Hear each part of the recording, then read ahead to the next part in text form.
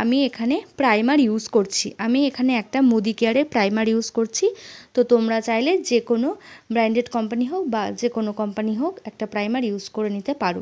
প্রাইমারটা আমরা আমাদের সারা ফেসে এবং গলায় ইউজ করব। আমরা হাত দিয়েই প্রাইমারটা ইউজ করতে পারি। প্রাইমারটা খুব ভালোভাবে আমাদের ব্লেন্ড করে নিতে হবে। দেন আমরা প্রাইমার ইউজ করার পর আইব্রো ড্র করব। আমি এখানে লরিয়ালের আইব্রো কিট দিয়ে আইব্রোটা ড্র করে নিচ্ছি। তো তোমরা যে কোনো কোম্পানির আইব্রো কিট দিয়ে আইব্রোটাকে ড্র করে নিতে পারো। দুটো আইব্রোই সমানভাবে ড্র করার চেষ্টা করবে, তাহলে দেখতে বেশি সুন্দর লাগবে এবং আইব্রোটা যার যে কাটিংয়ে আছে, তো সে সেই কাটিংয়ে রাখারই চেষ্টা করবে।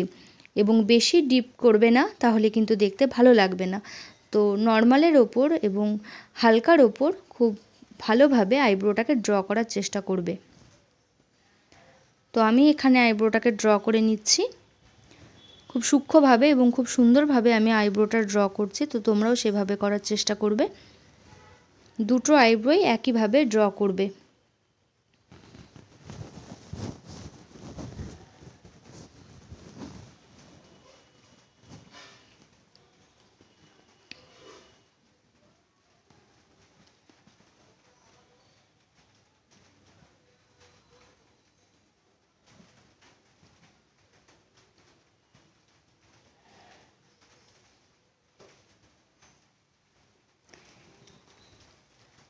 এবার আইব্রো ড্র করার পর আমি আমার আইব্রোটাকে একটু সেট করে নেব। তো যার যে স্কিন টোন সেই স্কিন টোন অনুযায়ী, সেই স্কিন কনসিলার দিয়ে আইব্রোটাকে সেট করে নেবে। আমি এখানে একটা নিক্সের কনসিলার দিয়ে আমার আইব্রোটাকে সেট করে নিচ্ছি।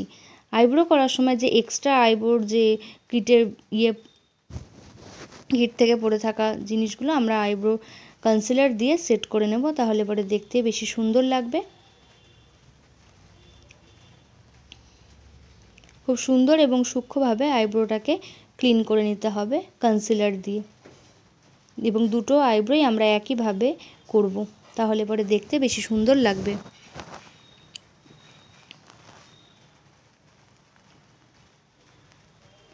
এইভাবে আমরা দুটো আইব্রো কনসিলার দিয়ে সেট করে নেব।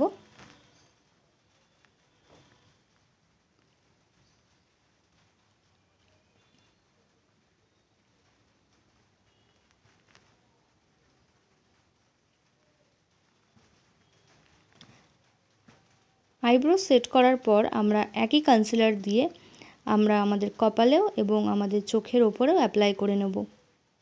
এটা বেসের কাজ করবে কিছুটা। ভালো করে কপালে এবং চোখে আমরা অ্যাপ্লাই করব, তারপর ছোট ব্লেন্ডিং ব্রাশ দিয়ে আমরা ভালো করে ব্লেন্ড করে নেব।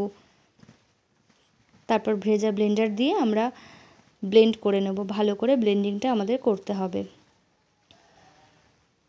এইভাবে আইব্রো করার পর আমরা চলে যাব শ্যাডোতে।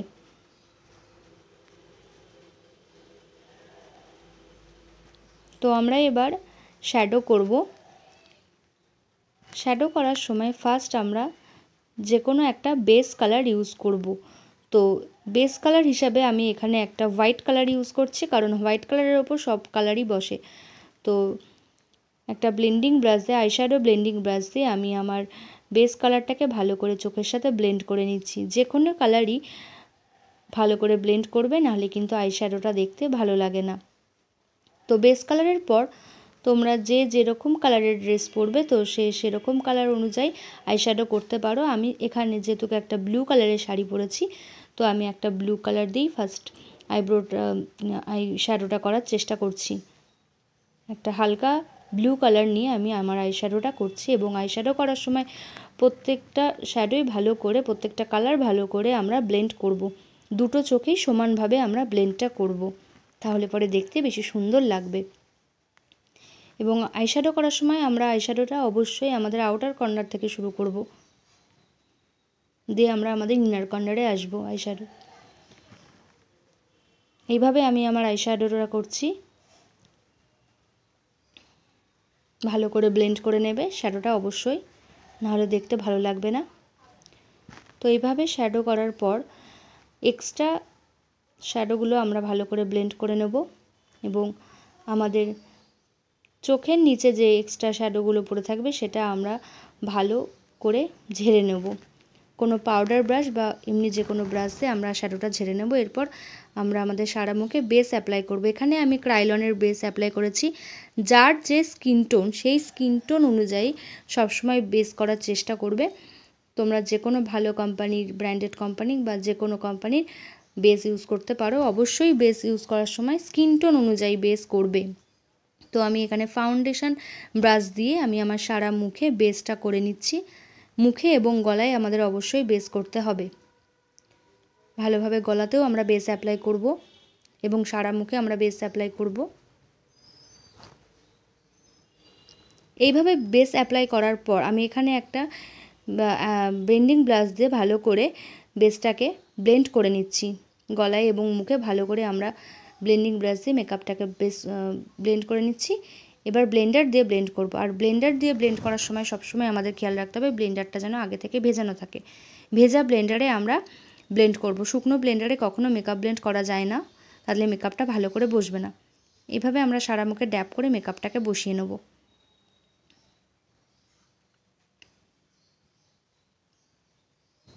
এইভাবে সারা মুখে বেস করার পর আমি এখানে কনসিলার ইউজ করছি।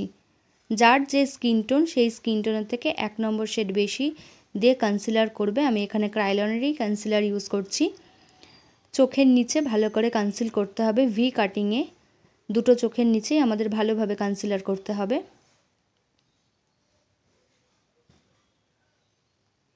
এইভাবে, একইভাবে দুটো চোখের নিচে আমরা ভালোভাবে কনসিলার ইউজ করব।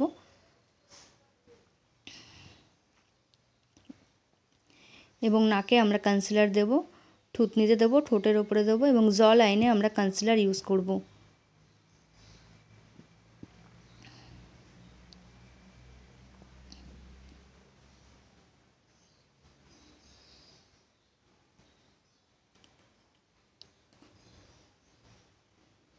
এইভাবে আমরা কনসিলারটা ইউজ করব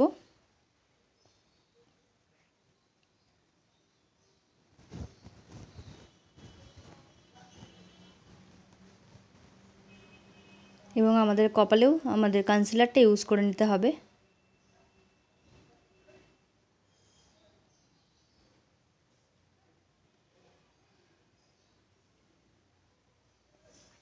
এবার ব্লেন্ডার দিয়ে ভালো করে কনসিলারটা ড্যাপ করে নিতে হবে।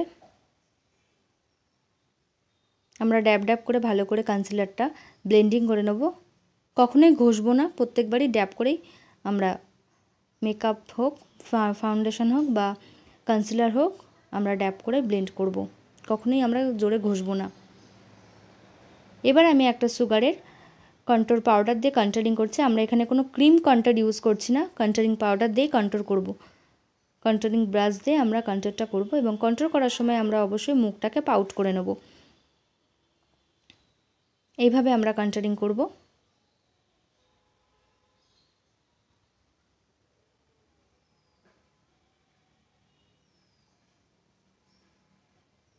এবং নাকেও আমরা কন্ট্রোল ব্রাশ দিয়ে কন্ট্রোলিং করব, তাহলে নাকটাকে দেখতে বেশি শার্প লাগবে। এবার আমি এখানে ক্রাইলনের একটা ব্যানানা পাউডার ইউজ করছি মেকআপটাকে লক করার জন্য। কন্ট্রোলিংয়ের জায়গাটা ছেড়ে আমরা আমাদের মেক ফেসে ব্যানানা পাউডার ইউজ করে মেকআপটাকে লক করে নিচ্ছি। তোমরা চাইলে যে কোনো কোম্পানির কম্প্যাক্ট পাউডার দিয়ে মেকআপ লক করে নিতে পারো।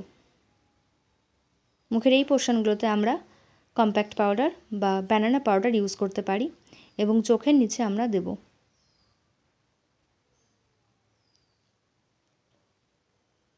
এবার আমি একটা কাজল ইউজ করছি। আমি একটা অরিফ্লেমের কাজল ইউজ করছি। কাজলটাকে আমি ওয়াটার লাইনে ইউজ করছি। ভালোভাবে ওয়াটার লাইনে আমি আমার কাজলটাকে ইউজ করছি।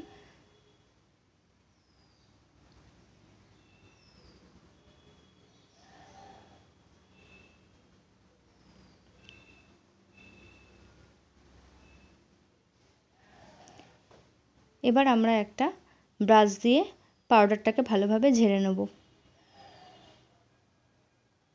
এবার আমি একটা মেবলিনের ব্লাশার ইউজ করছি। তোমরা যে কোনো কোম্পানির ব্লাশার ইউজ করতে পারো।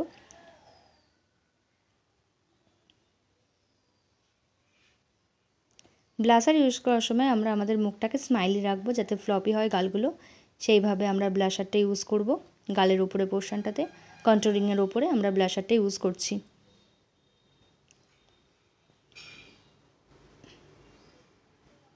এবার আমরা হাইলাইটার করব।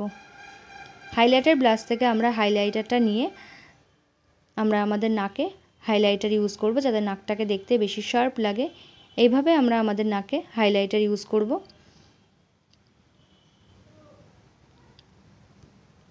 এবং আমাদের গালে হাইলাইটার ইউজ করব যাতে বেশি মেকআপটাকে গ্লজি দেখতে লাগে। এবং কপালে ইউজ করব এবং ঠোঁট পোর্শানে ইউজ করব। এইভাবে আমরা সারা কিছু কিছু জায়গায় মুখে হাইলাইটার করে নেব। এবার আমি এখানে একটা মেবলিনের মাস্কারা ইউজ করছি। এটা ওয়াটারপ্রুফ মাস্কারা তোমরা চাইলে যে কোনো মাস্কারা বা এই মাস্কারাটা ইউজ করতে পারো। এভাবে আমরা আমাদের আয়ে মাস্কারা ইউজ করব।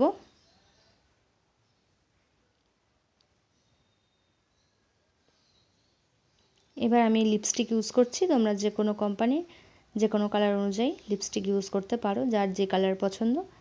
আমি এখানে একটা নিউড কালারের ওপর লিপস্টিক অ্যাপ্লাই করছি। লিপস্টিক অ্যাপ্লাইয়ের সময় আমরা আমাদের লিপ লাইনার দিয়ে লিপটাকে ড্র করে নিতে পারি বা ছোট ব্রাশ দিয়েও আমরা লিপটাকে ভালো করে ড্র করে লিপস্টিক পরতে পারি।